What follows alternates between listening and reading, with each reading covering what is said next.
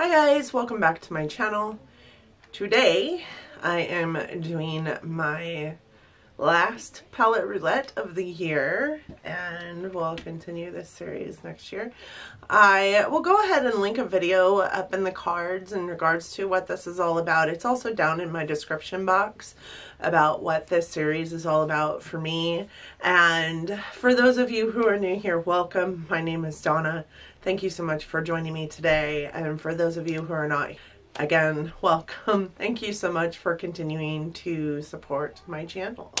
Uh, today is a palette roulette series and the palette that I used last week is this Karity Frost palette. And I'm really sad to say that I didn't get any pictures this last week of me using this palette. And there, there are many reasons why. Uh, first I want to go in and talk to you guys a little bit about the brand. Karity is a brand that uh, I found out about really early into last year, into my makeup journey. And these palettes with 21 shadows are $28 and I thought that that was amazing and when I first tried it I will go ahead also and link up in the cards my Karity review that I did right after I got these palettes. When I first tried them, I thought that they were amazing. They have great pigmentation. The story behind the brand is pretty awesome. They basically take the middleman out of the system so that you don't have to pay a lot for quality shadows and uh, their their shadows are pretty quality shadows. Their little statement on their website says you work hard for your money so a palette shouldn't cost an entire paycheck. By selling our beauty products at a fair, honest price, we keep our costs low and your wallet fat. For years, big beauty corporations have charged a ton of money so that they can cash in on huge profits from customers like you. But if you wanted high quality makeup, you had no choice but to pay those prices. And they sell direct to you they grow organically instead of through marketing and whatnot. And they're self-funded, which I thought was amazing. Whereas a lot of bigger brands, they sell retail, so they have that markup. They do marketing through many channels, so they have that markup. They do have like celebrity endorsements, so they have that markup. Karity doesn't and they have sales agents that are part of their overall costs of their palettes. So some palettes you're paying 42 to $65 for less shades than what you get in a Karity palette. The other thing that I thought was really cool is that the guy who started this brand started this brand because his wife was really big into, you know, beauty and is really big into beauty and needed to go pick up some new makeup and he was with her and he experienced a little bit of sticker shock when she had to pick up some new makeup products, some new beauty products, and he didn't think that it was awesome to have to pay that price for those beauty products. With the idea in mind that he wanted to create quality beauty products for less cost, he went on this venture and created Karity. The name of Karity comes from his wife's maiden name, so I thought that that was really cool.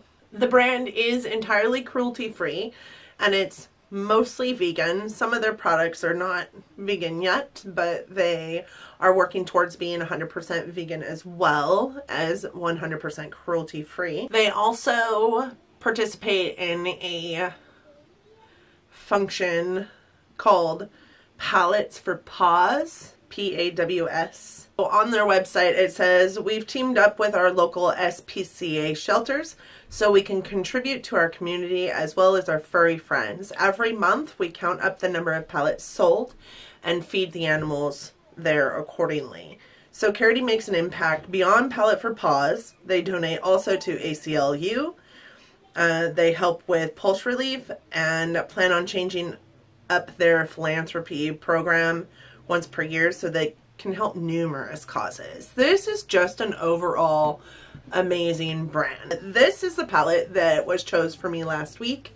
It is the Karity Frost palette. I got this one in addition to the Mattes palette at the same time. And I got it during a sale, I think last October, not this last October, but the October before that. And in which these both palettes cost me, I believe, less than $30 because I had a coupon in which I got like $10 off for buying the bundle. So each one of these palettes cost me roughly $15 and each one has 21 matte or 21 shades in it. So this is the one that I was chosen to use last week. I do have it on my eyes today. I have worn it several times. What I can say is that when I first tried this brand, I thought that these were amazing. I thought that they were hugely pigmented. And since diving into other brands, I have realized that they're not as necessarily as pigmented as I thought they were in the first place, but they are beautiful shadows.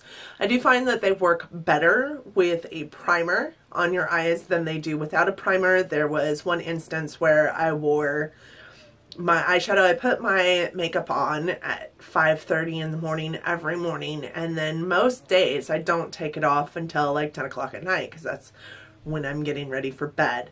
These shadows did not last that long without a primer and even with a primer they still struggled throughout the day. I didn't find a whole lot of transfer. There is no fallout for the most part. They're not really chalky.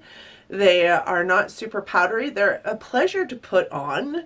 They work really well, wet or dry.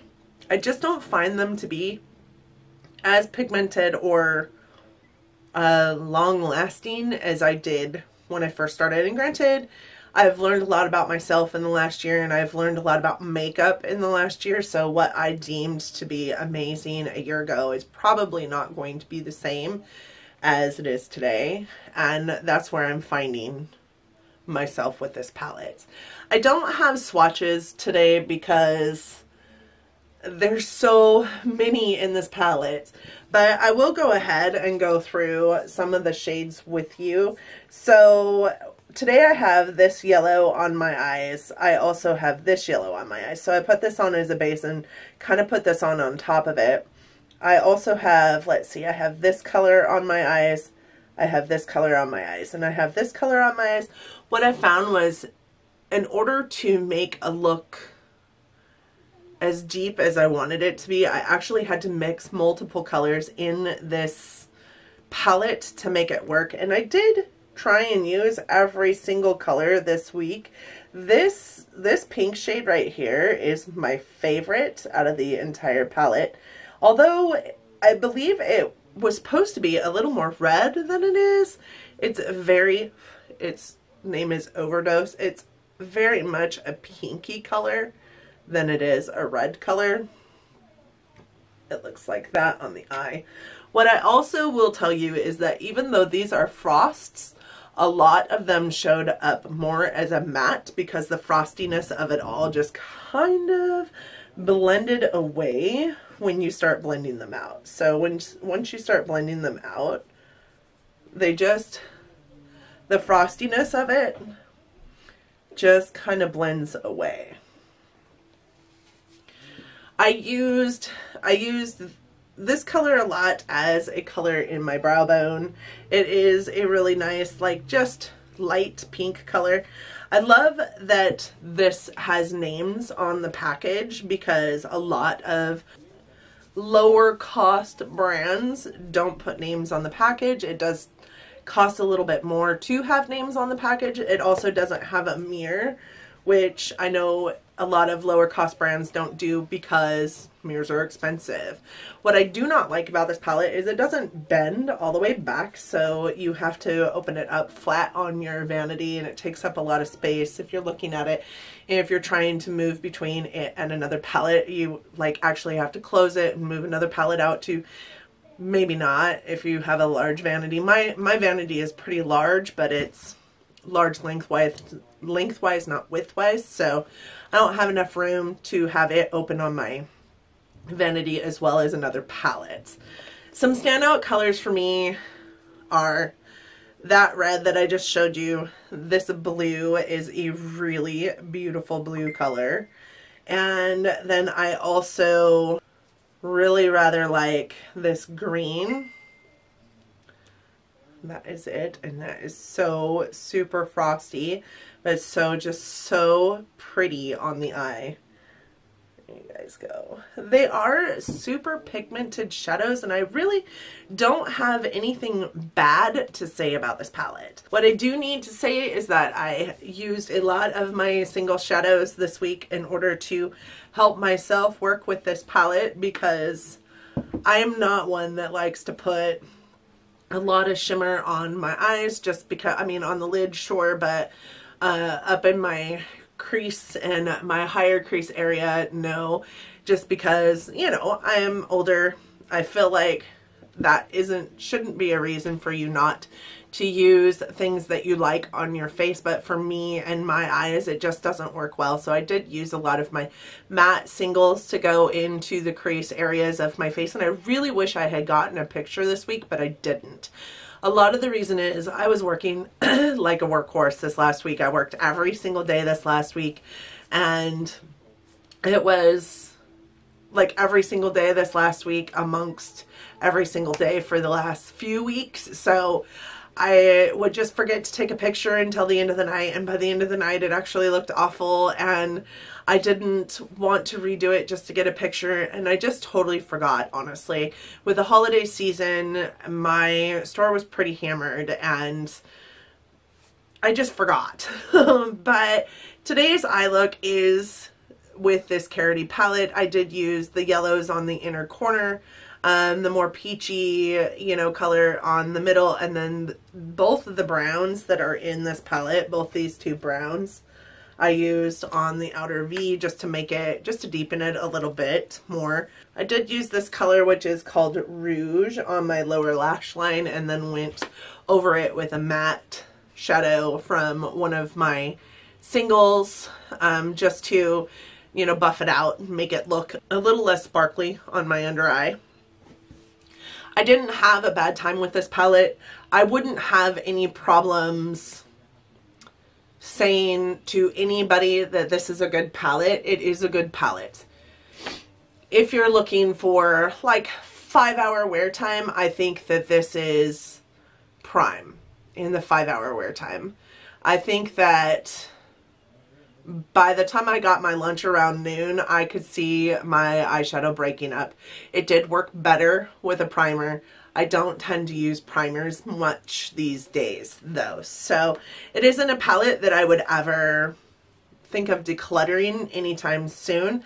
I do love it. It did it did serve a purpose and I really have some shades in here that I really quite enjoy actually. So I think for, you know, 21 highly pigmented shades for the the cost of it all and the fact that the company is an amazing company and their philanthropy projects are so great. It's it's well worth the cost of that palette. Let's see, is there anything else I wanted to tell you guys? I don't think there's anything else I wanted to tell you. If, if there was, I might sit it here on the screen. One thing I've been noticing the last several weeks through editing is there is a lot of stuff that I meant to say to you guys about the palettes that I'm using that I forget in filming and that just irritates me so bad. So as all of you know, if you've been watching this series, I use an app on my phone called um, Decide Now this app is kind of like a Wheel of Fortune app where you put all your palettes in here and you press the button and you spin it and it chooses for you. You can use this app for anything and this series was inspired by the palette a week or paw that Danibo does on her channel and I think she uses a different app. This one is through the Play Store for Android phones but it's the same idea as hers. So I'm going to go ahead and spin the wheel.